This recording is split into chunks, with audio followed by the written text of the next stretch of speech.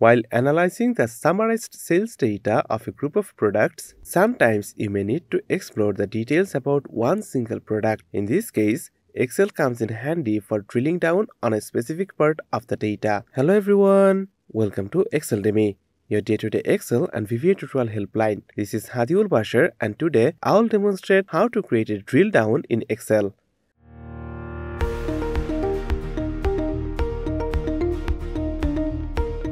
For this video, I will use Microsoft Excel 365. Let's quickly refresh our idea about the drill down. In short, drill down refers to expanding the details of a specific data point from the entire dataset. It is useful if you want to get more detailed data from the whole dataset.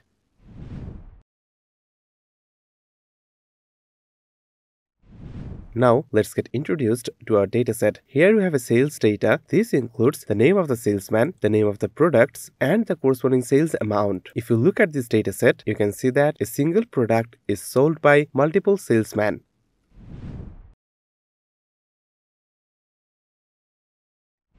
Now, if you want to get the detail of a single product, then you need to drill down on that product. For that reason, first of all, you need to create a pivot table and later you can drill down on a specific product. So, to create the pivot table, as a cell of this dataset is selected, so you can move to the Insert tab from the Tables section, click on Pivot Table. Here you will find the options to create the pivot table. As I will create the pivot table from this dataset, so I'll choose the option from table or range. This opens the pivot table from table or range window and you can see my entire dataset is highlighted automatically. And in the table or range field you will find the cell reference B4 to D13 of this worksheet to create the pivot table. In the next section, you can choose the location of your pivot table. You can create the pivot table in a new worksheet or you can create the pivot table in the existing worksheet. In my case, I'll create the pivot table in the existing worksheet. So I'll choose the second option and in the location field, I'll set the location where the pivot table will be created. You can choose any cell of this worksheet to create the pivot table. However, I'll select the cell F6 in my case. As a result, you will find the cell reference of F6 in the location field. Now click on OK to create the pivot table. This opens the pivot table fields window. You will find all the fields here. As I want to create a pivot table with the product-wise sales data, so drag and drop the product field in the rows area. As a result, you can see a product list is created and this is a unique list of the product this means one single product appears only one time in this list. Now, as we want to get the product-wise sales data, so I'll place the sales amount field in the values area. Hence, you will get the product-wise sum of sales amount and the grand total is calculated here. This pivot table is sufficient to drill down on a specific product. However, you can add more fields to this pivot table. For example, you can set the salesman field in the filters area to filter the sales figures according to the salesman. If you click on this drop down icon, then you can filter the sales figures according to the salesman. However, I won't do this in this case, so I am clicking on cancel cancel, our pivot table is almost ready. You can further customize this pivot table if you want. For example, as column F contains the product list, so as the header, you can set product. So type product in cell F6.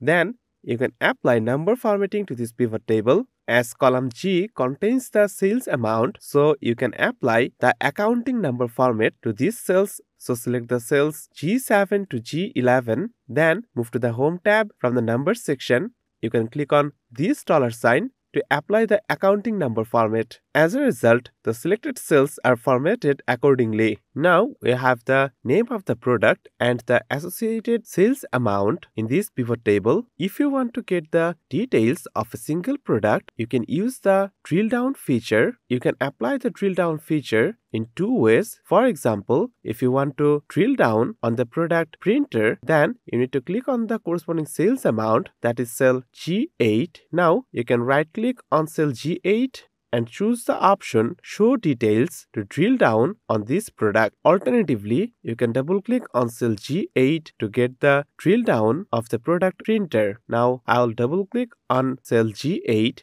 As a result, you can see that a new worksheet named Sheet 3 is created and here you will find the drill down of the product printer. In this way, you can get the drill down of a single product. One thing I should mention here that the drill down is always created on a new worksheet. You can rename that worksheet and give it a meaningful name. For example, as this worksheet contains the sales data of printer, so I'll name this worksheet as printer.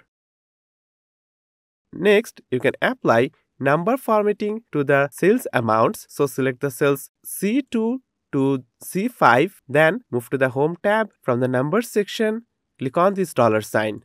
As a result, the sales amount are formatted accordingly. Now, I have got this drill down of the product printer by double clicking on the sales amount of printer.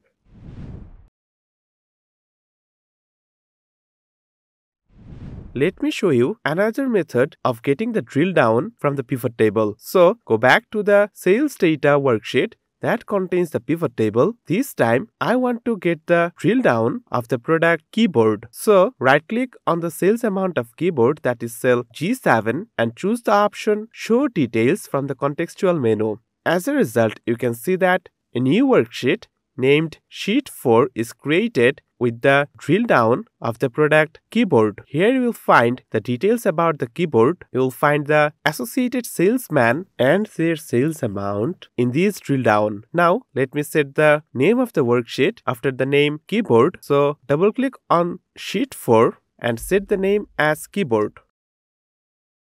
One thing I should mention here that you can set any meaningful name according to your choice. Now I'll format the sales amount. So select the cells C2 to C4, then move to the Home tab from the Numbers section, click on this dollar sign and the accounting number format is applied to the cells. And that's it. In this way, you can get the drill down of a product. I have demonstrated the step-by-step -step guide for creating a drill down in Excel. Hopefully, you can apply this knowledge according to your requirements and convenience. You can download the practice workbook from the video description to sharpen your Excel skills. Feel free to leave any questions, suggestions, or feedback in the comment section below. You can go to exceldemy.com to read our Excel blogs, or you can share your Excel related issues in our Exceldemy forum and receive free solutions. For more content like this, make sure to subscribe to our channel. Thanks for watching our video. Bye.